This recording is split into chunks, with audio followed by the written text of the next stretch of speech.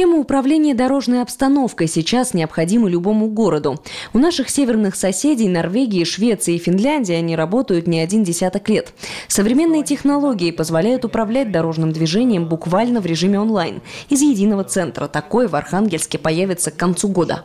Мы можем подключить к системе э, порядка 15 светофорных объектов. Для подключения остальных потребуется предварительная модернизация светофоров с заменой контроллеров управления.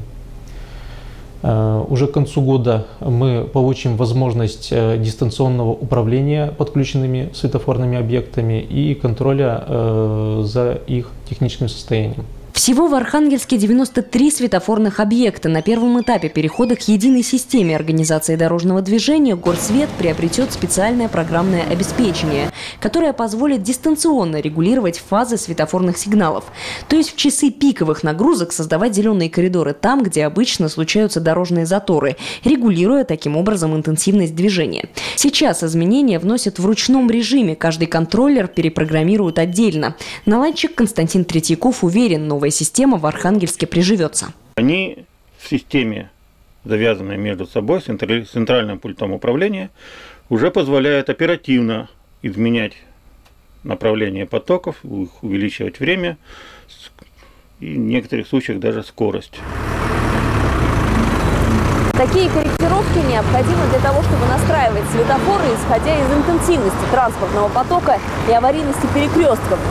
К примеру, в Архангельске самыми опасными считаются перекресток Маймаксанского шоссе и улицы Мостовой, обводного канала Иурицкого, Воскресенской и Тиме, и вот этот перекресток Троицкого проспекта с улицы Поморской. У автовладельцев, кстати, свои претензии и предложения к организации дорожного движения. Чем больше светофоров, тем меньше аварий. Нет, светофоры желательно помыть бы для начала. Потому что многие светофоры грязные, и сейчас, когда солнце светит, не видно просто какой цвет горит.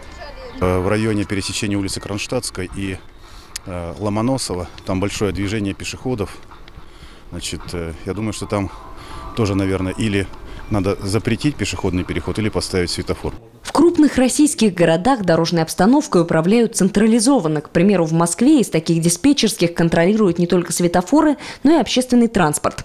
Подобные решения в своей комплексной транспортной стратегии предлагала несколько лет назад и дорожный эксперт Елена Сваткова. Она уверена, что при существующей нагрузке и растущей автомобилизации населения утренние и вечерние пробки в будни станут обыденным явлением быстрее, чем мы можем себе представить.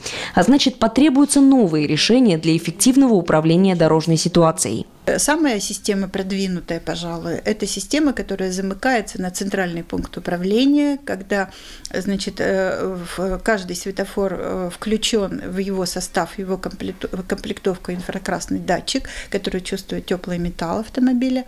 Оснащение одного светофора устройствами, чувствительными к инфракрасному излучению или всепогодными веб-камерами может обойтись в среднем от 200 до 500 тысяч рублей. На всю модернизацию придется потратить больше 18 миллионов. В бюджете Архангельска сейчас на это средств нет, поэтому переоборудование городских электрорегулировщиков будет идти поэтапно. Олеся Кокина, Архангельское телевидение.